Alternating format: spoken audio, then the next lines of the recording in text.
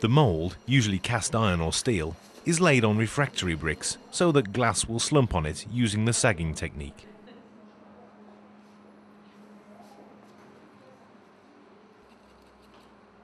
Ceramic fibre sheets are placed on the mould and cut into a crown-like shape with a sharp knife.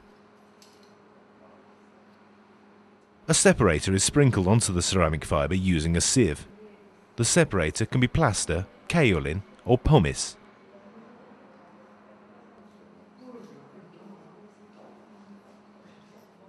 After cutting and processing the edges, the glass is laid onto the mould.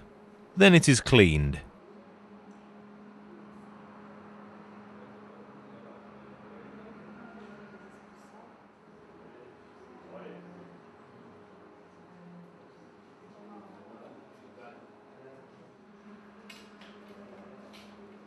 The glass is positioned at the centre of the mould.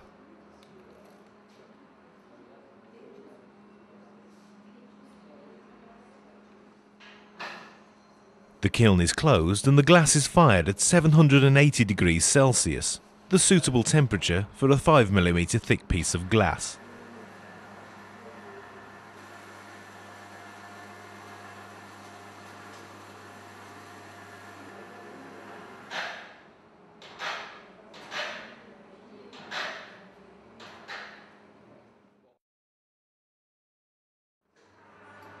After firing, the kiln is opened and the piece is retrieved, checked and cleaned.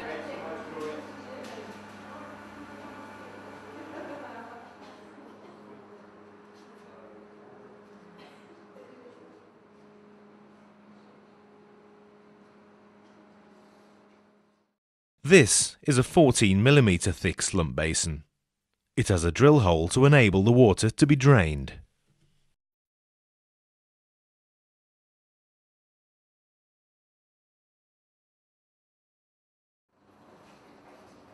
Thermal shaping technique. Ceramic fibre sheets are applied onto the shelf of the kiln.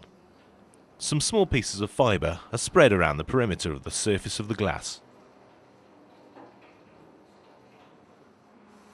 The separator is sprinkled with a sieve onto the fibre sheets.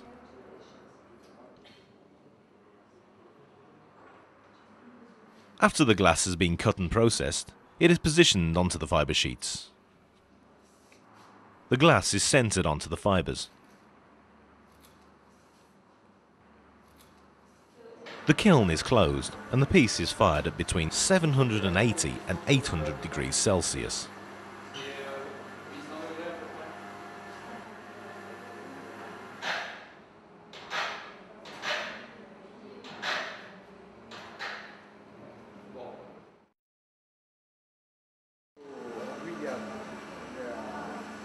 After firing is complete, the kiln is opened. The piece is checked and cleaned.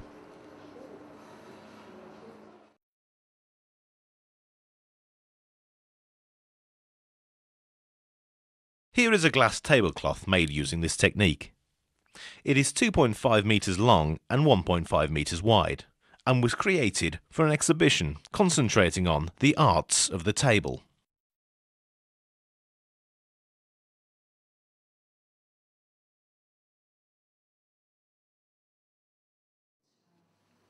A pane of glass is prepared for sandblasting. Brown paper is used to protect both sides of the glass.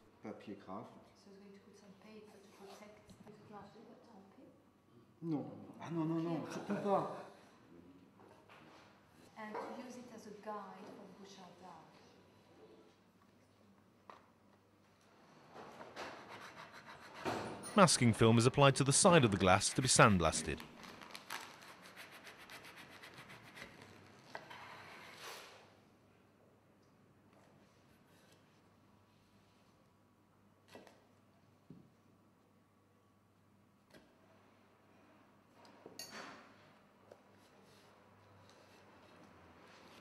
Voilà.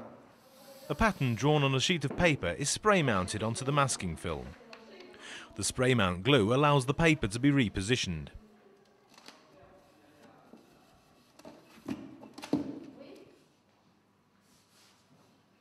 The triangles that comprise the pattern are bordered by a 2mm wide furrow.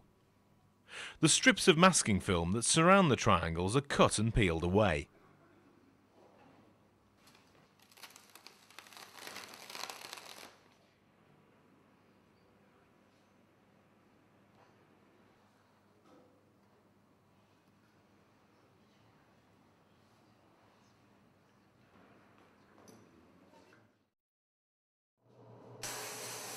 The exposed parts are sandblasted to a depth of at least 2 millimeters. The depth varies according to the thickness of the glass used for bouchardage.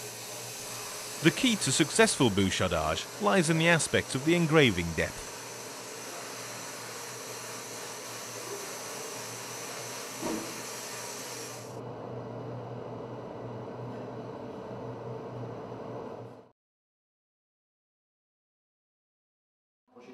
The piece is cleaned and the masking film is removed.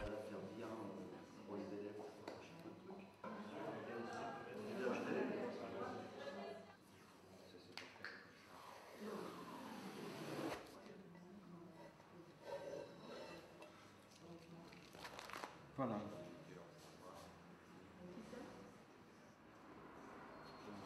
The glass is placed onto a square mould for thermal shaping at a temperature of 620 degrees Celsius.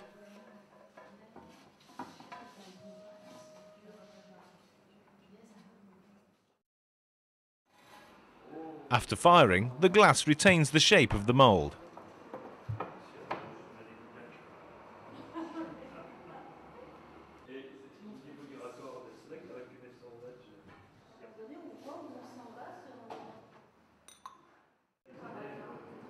The technique of bouchardage consists of taking out fragments of glass with a hammer and chisel, here demonstrated on the triangles lined by the engraved furrows.